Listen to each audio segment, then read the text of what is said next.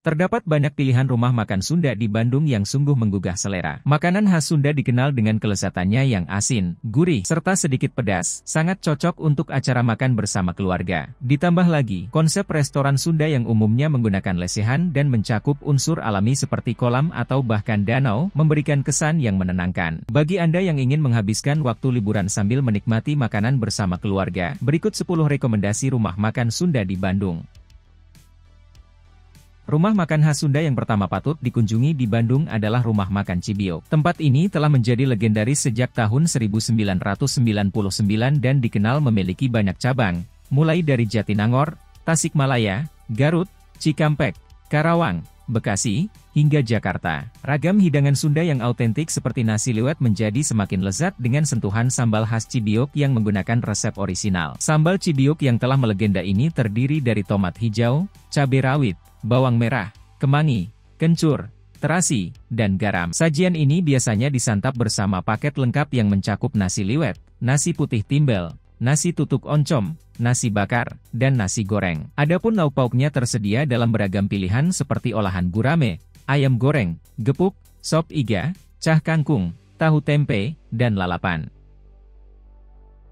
Banyak yang merekomendasikan warung nasi Ibu Ima sebagai tempat yang pas untuk mencicipi makanan khas Sunda yang lezat. Berdiri sejak tahun 1980-an, warung makan ini telah menjadi legendaris dan menjadi favorit di kalangan lokal maupun wisatawan. Terdapat beberapa cabang dari warung makanan Sunda ini, bahkan beberapa di antaranya buka selama 24 jam. Dalam hal menu, tempat ini menyajikan beragam hidangan seperti ayam goreng, ayam bakar, pepes, jeroan goreng, bakwan jagung, ikan mas, dan tahu tempe. Deretan hidangan ini semakin menggugah selera jika disantap dengan sambal merah terasi yang istimewa serta sambal karedok leunca. Tersedia juga berbagai macam lalapan, mulai dari kol goreng hingga selada air goreng yang menjadi ikonik di sini.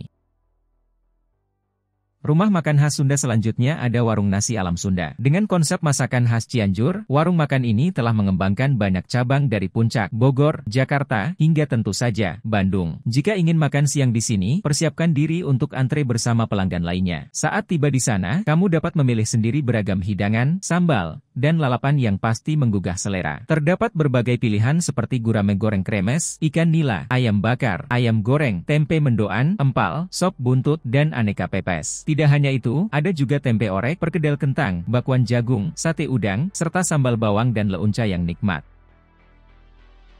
Restoran Raja Rasa yang berlokasi tidak jauh dari Tol Pasteur menjadi pilihan makan bagi wisatawan yang berkunjung ke Bandung. Dengan dua lantai dan area lesehan yang nyaman, tempat ini sangat cocok untuk acara makan bersama keluarga besar. Restoran ini tidak hanya menawarkan hidangan khas Sunda, tetapi juga hidangan khas Bali serta berbagai hidangan seafood segar dan lezat. Jika mengunjungi tempat ini, jangan lewatkan gurame bakar Raja Rasa yang disajikan dengan bumbu khas yang pasti lezat. Tersedia juga kerapu bakar jimbaran yang tak kalah menggugah selera. Pilihan menu lainnya termasuk ayam ayam sambal mata, sop rusuk, ayam emakeke, dan kepiting bakar super.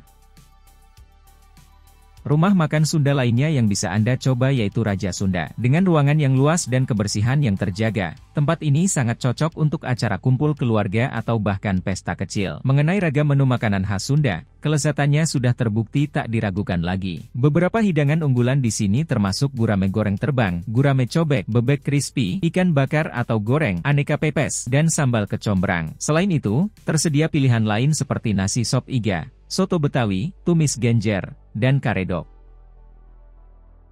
Didirikan pada tahun 1973, Sindang Reret adalah salah satu restoran Sunda yang sangat direkomendasikan. Filosofi bangunannya mencakup elemen tradisional etnis Sunda yang dipadukan dengan sentuhan modern. Dengan suara gemericik air dari kolam, area lesehan dan meja biasa, serta desain arsitektur yang menawan, Sindang Reret menjadi tempat yang sempurna untuk kumpul keluarga. Di sini, kamu bisa menikmati paket nasi timbel lengkap dengan ayam goreng kremes, sop iga, karedok leunca, dan lotek. Tersedia juga pilihan gurame dan hidangan seafood yang tak kalah menggugah selera seperti gurame cobek, gurame asam manis, cumi saus tiram, dan udang saus mentega. Terletak di Jalan Marta Dinata, Riau, Bandung, restoran Pavilion Sunda menjadi pilihan yang tepat untuk makan bersama keluarga dengan cita rasa khas Sunda. Tempatnya sangat luas dan indah dengan area lesehan yang dilengkapi dengan lampu gantung yang cantik serta nuansa warna putih yang elegan. Seperti restoran lain yang menarik, tempat ini cocok untuk berbagai acara seperti kumpul keluarga, perayaan pernikahan, dan lainnya. Ragam makanan khas Sunda di sini sangat lezat dan memiliki banyak pilihan. Beberapa hidangan yang patut dicoba termasuk nasi liwet, nasi pepes bakar, ayam cabai hijau, bebek goreng crispy, dan beragam pepes. Menu ikan dan hidangan seafood juga sangat direkomendasikan seperti gurame saos mangga, baronang saos Bangkok, nila pesmol, serta berbagai hidangan udang dan cumi-cumi.